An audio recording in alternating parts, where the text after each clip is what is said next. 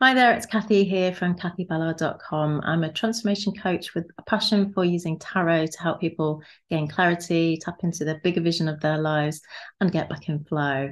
And today I'm doing a three card pull on what will help us manifest our dreams, desires, and aspirations. So these are the three cards I've pulled earlier for today. So I invite you to either choose one of these cards intuitively or because there's so much great guidance from the tarot in, in every card, you could just feel into all of the messages just to see what resonates with you that feels useful.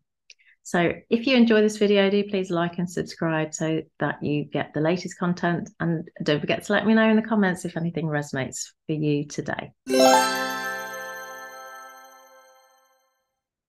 Manifesting has become quite a buzzword over the past few years, and as a transformation coach, is a key part of the work that I do with clients. Manifesting refers to the process of intentionally creating and attracting the things that you want into your life. And it's based on the concept backed up by quantum physics and neuroscience that your thoughts, emotions, and beliefs can influence your reality that you experience.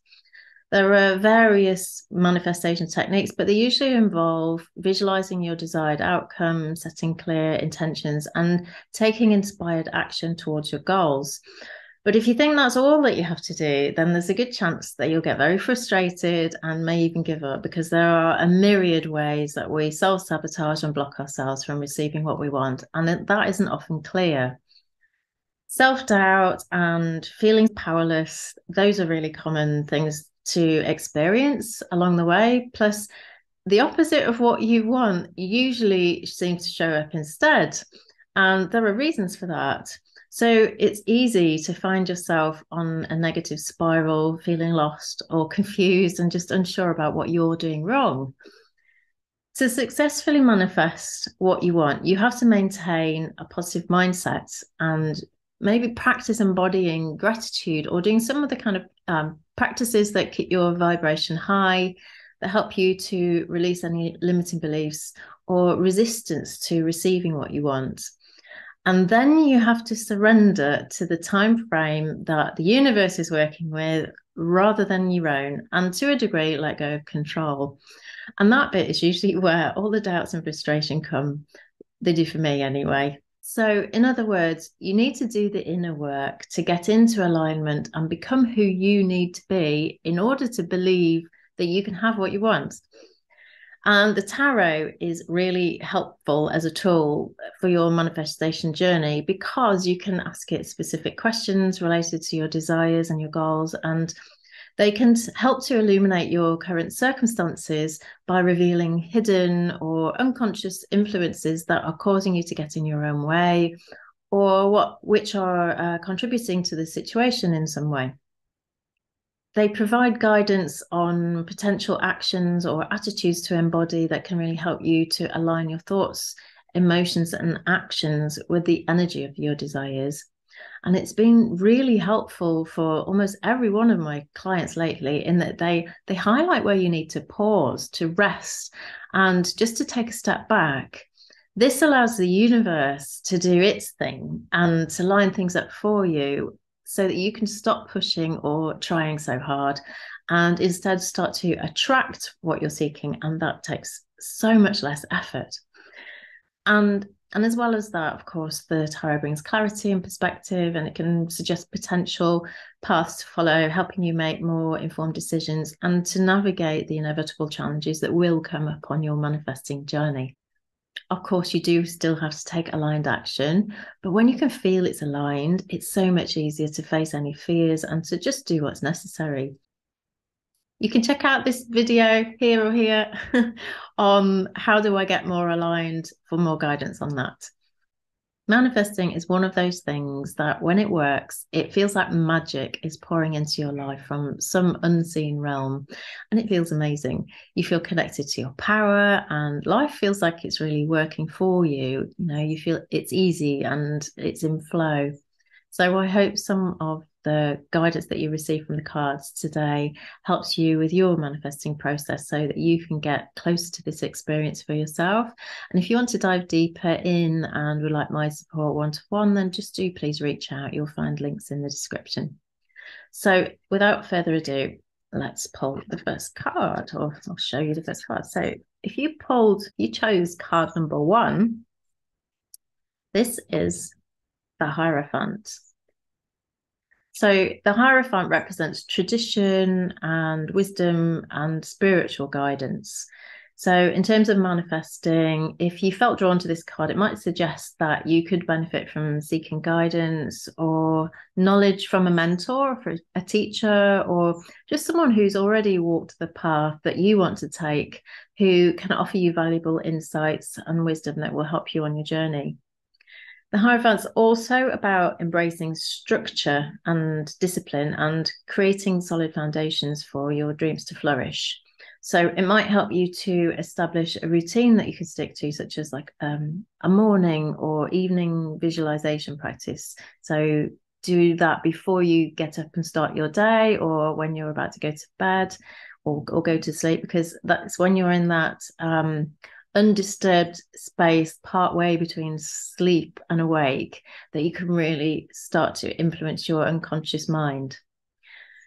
This card also might suggest that it would be good for you to set some really clear goals or intentions and just to create an action plan alongside your visualization process um, alongside your visualization practice that will help you to stay committed to your vision and to work through the inner resistance to growth and change that will come up because that's just part of the manifesting process.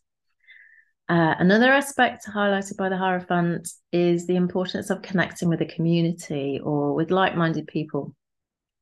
So, connect with groups or individuals or uh, groups online or, or in person uh, who share your aspirations and your interests and goals because that can provide you with support and inspiration and valuable networking opportunities to really help you to stay focused and on track.